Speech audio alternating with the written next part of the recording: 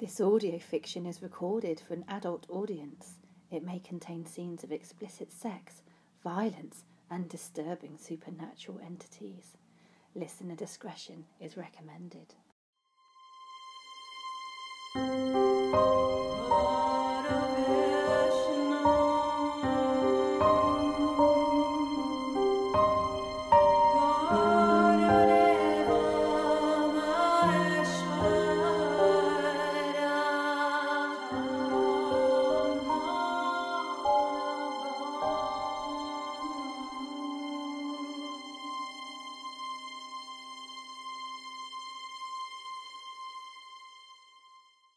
Come, lend me your ear, as I speak to you of the macabre, the cursed, the maligned, the malignant, the possessed, and the downright demonic.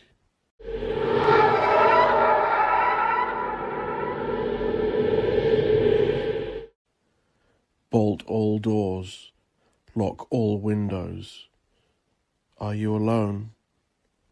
Are you sure? I suggest you check under the bed carefully, twice.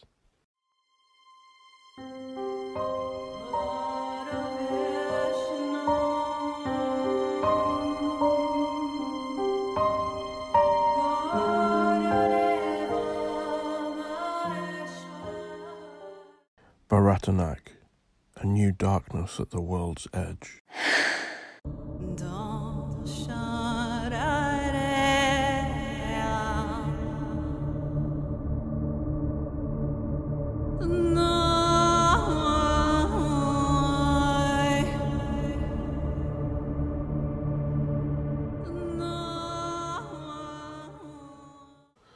The water screamed with fury.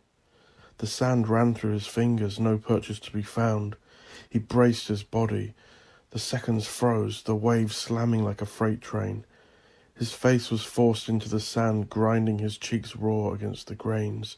He was churned powerless as a thick plateau of water returned to the ocean. Oh no, he thought, his pulse pounding at the realization he was to be swept away.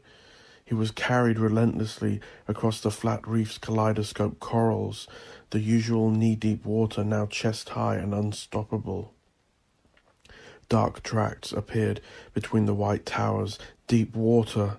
Flailing in the foam, Declan grasped frantically at the line of small brain corals perched at the sharp lip of the reef. Yes, got it, he thought, relieved.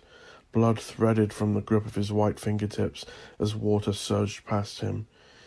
He prayed the blood was a sufficient offering to the deciding fates that surged around him. In a horrifying moment, with his lungs close to bursting, all the foam cleared. An undersea slope plunged away from the reef's vertical edge, a more fearful submarine reflection of Bathsheba's deadly ravine with immeasurably greater gravity. Beyond was the abyss. Declan stared, hypnotized, filled with a dread of the same ocean songs he had heard in the rock pools. He gasped for air in the wake of a wave, then again in the trough between two unstoppable white walls of seawater. He held strong but struggled against the insatiable pull of dark, crushing spaces. Soon they will have you, laughed a voice in his head. Faces formed in the deep as his lungs threatened to burst. Blurred dark shapes moved closer, then darted back to the gloom. Sharks, he thought, his biggest fear. Every local said that the tiger shark stayed far from shore, but he'd seen YouTube videos that said the opposite, as did common sense. In the waters he now gawped into, in dread, he sensed entire drowned mountain ranges littered with the rotting hulks of entire ships. If I don't fight, my bones and ambitions will soon join those of far greater men than I below, he thought. Declan could no longer hold on. He rose to the surface, choking. He remembered tales of drowning, and hoped that if it was his time, then the tales would prove true, and that the final intake of water into the lungs was a sweet release. It was far preferable to staring into the cold, black eyes of a tiger shark. He was still haunted by visions of fifteen foot monsters he had seen off Maui. The current tugged at him. He drifted over the reef's cliff edge, the rocks far below making him dizzy with vertigo. Now or never, he thought. His arms swung at the water. Swim, he ordered his body, swim. My disappearance will not become dinner party conjecture for false friends. Declan's heart was on the cusp of collapse from his exertions when one of the white walls lifted him back over the reef and pushed him towards the beach. No, blind worms will not fight over my organs on the ocean floor, he thought as he swam. His arms almost failed him. As he tumbled for what seemed an eternity, his lungs sucked in more water than air. Deposited high on the sand, coughing racked his body as his saviour wave dissolved around him. He slapped at the last of its foam, desperate to touch it in gratitude. At that moment he felt fragile, breakable, reborn and alive. Every goosebump and prickle on his body reaffirmed his shaken belief that precious chances of reinvention and rebirth, gifted by life's unpredictable events, must be seized before they vanish. Frigate birds studied his gasping body from on high, invisible in the blinding disk of the sun. They watched him lift his face to the sky and mouth, Thank you. Declan staggered up the beach towards his belongings.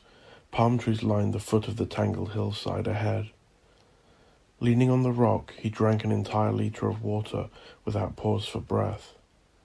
Gasping, he saw a small female figure emerge from the palm trees further down the beach before melting back. Mama Myrtle, he thought.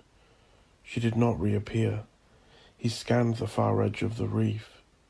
Several sharp splashes erupted nearer to shore, where sapphire needlefish leapt at the sun to evade the jaws of giant tarpon.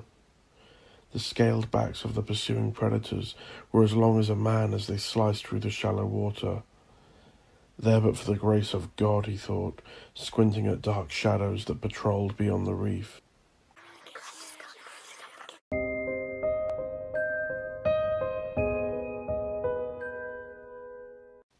Thank you for listening. If you have enjoyed this episode, then please subscribe. I must leave you now, but do not despair. If you listen to the next installment, the curse cannot harm you, but you must believe. Now pull the blanket over your head and be quiet. You are not alone. Shh.